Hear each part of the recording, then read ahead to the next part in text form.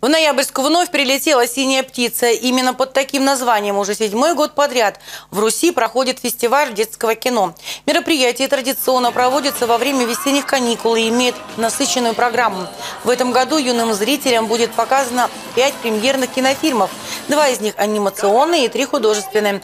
Также перед каждым дневным сеансом для детей будет проводиться увлекательная игровая программа.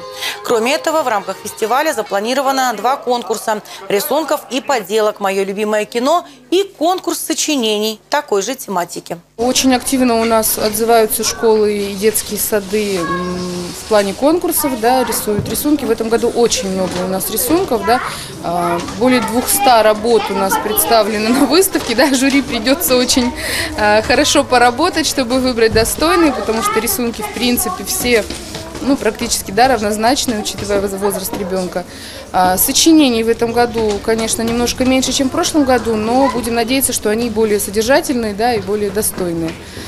А, и за вот прошедшие да, 7 лет, в течение которых существует фестиваль, ну, каждый год у нас зрителей немножко прибавляется. Последние два года мы держим планку в районе 5,5 тысяч э, зрителей. Да, это очень хороший результат.